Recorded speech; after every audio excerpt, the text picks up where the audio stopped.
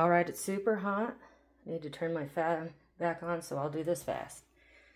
Just showing some of my collection. I've got to sell it. I might have a rock sell.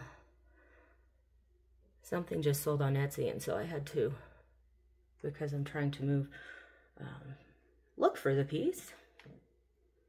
And set some things out for the fun of it. So, anyway, just a little look at some of the fossils